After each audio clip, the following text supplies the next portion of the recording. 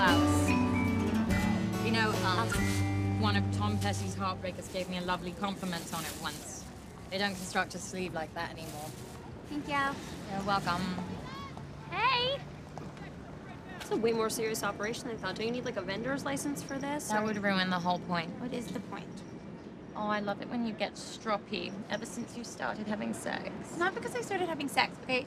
It's because I didn't get any sleep last night because Ray only wants to watch old episodes of Ally McBeal, like all night long. And I'm like, excuse me, I actually have to be somewhere in the morning. Like, unlike you, you know what I mean? Jessa, do you happen to know where I could procure some cocaine today?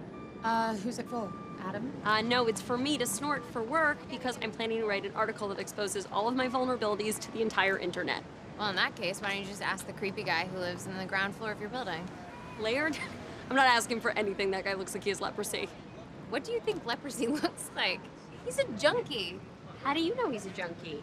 I asked him. I mean, we were talking once by the mailboxes. Oh, yeah, totally. No, all the junkies in my building totally hang out by the mailboxes.